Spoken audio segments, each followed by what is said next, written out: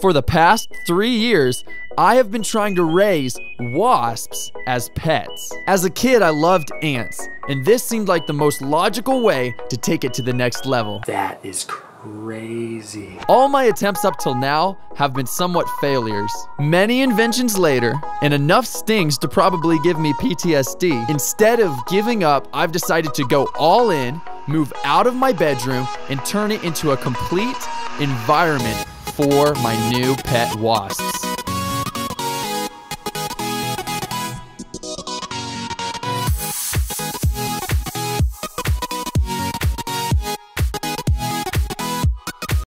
To you, this may just seem like a random hole in the ground, but underneath are hundreds, if not thousands, of little living creatures. Now, rarely have yellow jackets been kept in captivity, which is why I've taken it upon myself to learn how to raise them as pets. Now, right here is another nest that I'm going to pull out of the ground. My friend Joel's gonna be helping. Let's do this thing.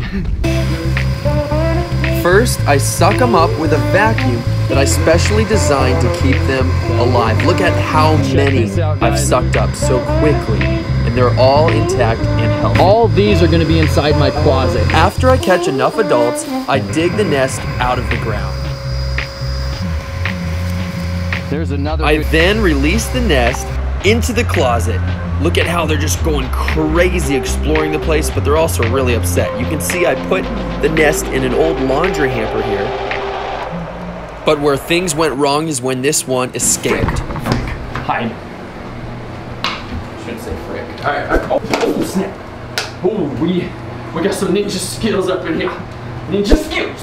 Oh, Alright. oh I think I just killed something. Come here. Come here! No, no, no, where'd it go? Where'd it go? Where'd it go? Oh, there it is, okay. no, this isn't my first rodeo.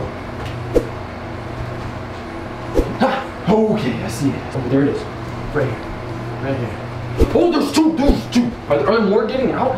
Even though it's really hard to see the yellow jacket, it is dive bombing me. It's like a little homing missile. Unlike their cousins, umbrella wasps, which I'm actually also trying to keep as pets, yellow jackets are extremely aggressive and they will lock onto you from many, many feet away. And yes, I do eventually get stung Oh, right here, even go in. but the wasp also pays a price. Okay, we're good. Okay. Ah!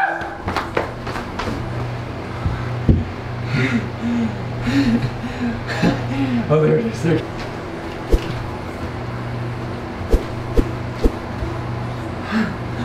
Okay, it's right here.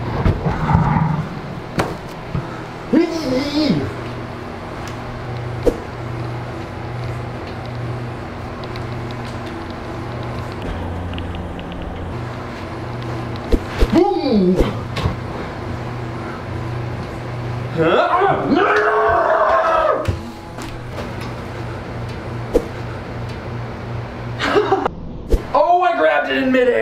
There she is. Trying to chew her way out of my fingers.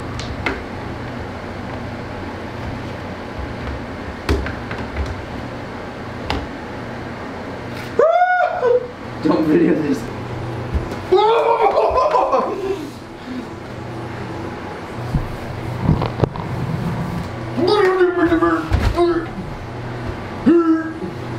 Just got stung in the arm.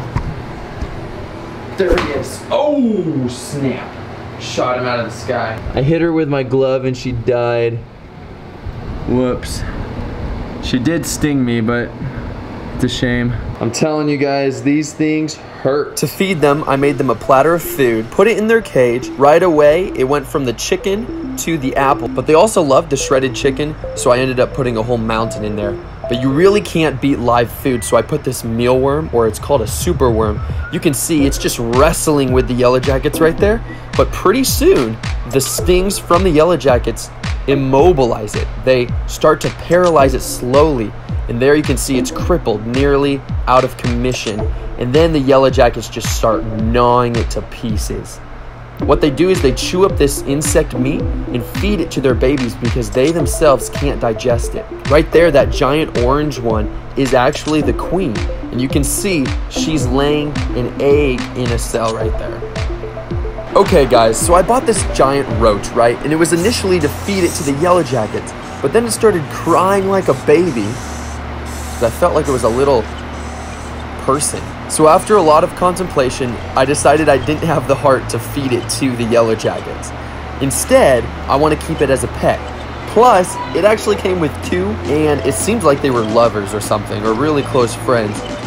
So instead, I went outdoors and caught some random creatures to feed to the yellow jackets. Including this tarantula that seems to have already been paralyzed by a wasp. Needless to say, they stung these creatures to death and then devoured them. Check out this roach just being paralyzed. This is quite a large nest. They're really going crazy. In the past, I have not been successful to actually raise a nest. Let's hope that that changes. Thanks for watching, guys. It's so crazy awesome that there are so many of you who are actually interested in coming along on this journey.